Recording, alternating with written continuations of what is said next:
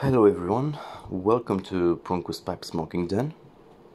I'm Prunku, I'm in my den, and today I want to talk about properly storing your tobacco.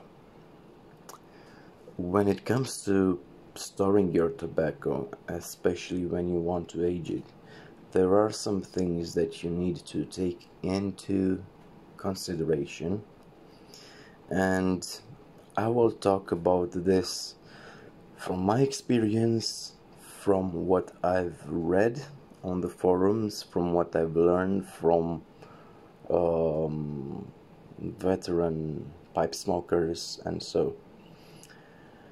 As you can see, I have uh, tobacco in um, in a drawer and also in a closet. Why? Because uh, when you are storing your tobacco, the light and the humidity are very, very important. So, um, you don't want your tobacco to be exposed to uh, high temperatures, uh, high humidity, uh, which would lead to mold. Um, and uh, you want to keep it away from light. Okay so keeping first of all keeping the tobacco in a drawer or in a closet is the the first best thing that you can do. Uh, as you can see let me put some light. There's also light now there are lots of tins here for decoration but these are all empty. So don't keep your um, your tins um, your filled tins out. I personally recommend that you keep them in a drawer or in a closet like I do here so for example here are some tobaccos that I already opened. And uh, after I open them I immediately put them in a hermetically sealed jar like this one for example.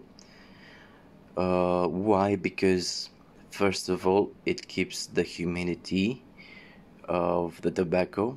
It doesn't get dry and um,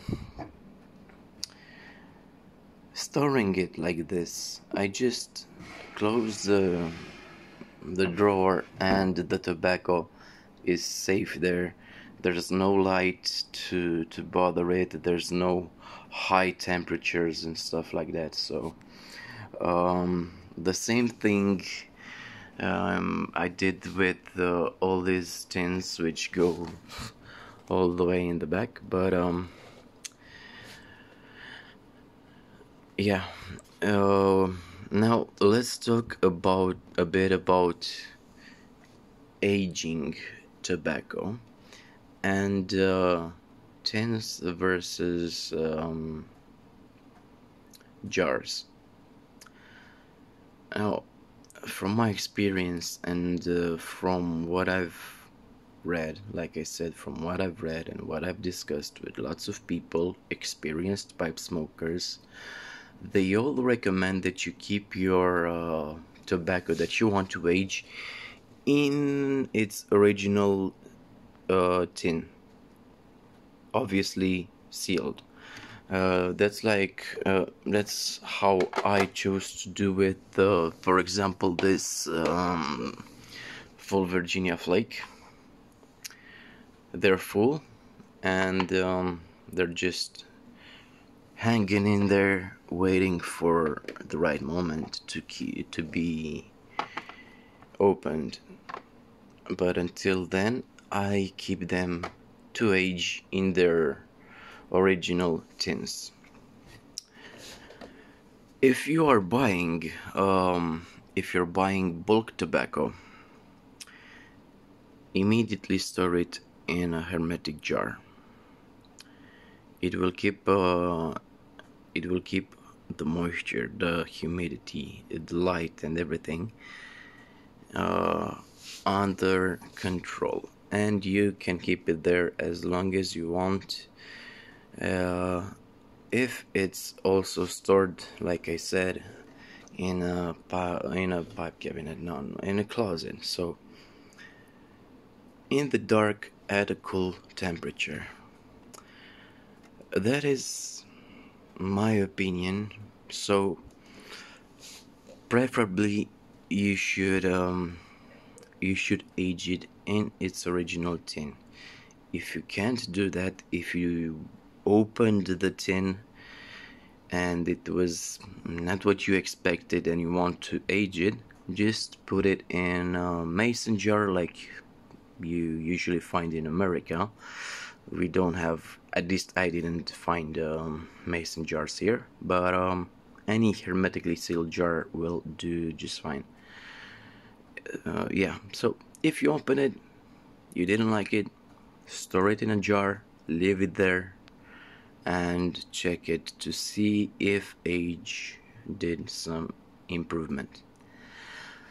But um anyway that's uh that's my two cents on um, storing tobacco in uh, on aging tobacco as well. So um, I hope you you enjoyed this and uh, that this video came in handy if you have a different opinion opinion don't, don't hesitate to comment on this video. We will talk we will uh, share opinions.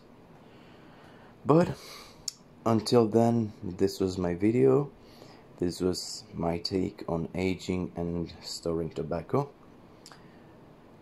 So till next time take care and happy puffing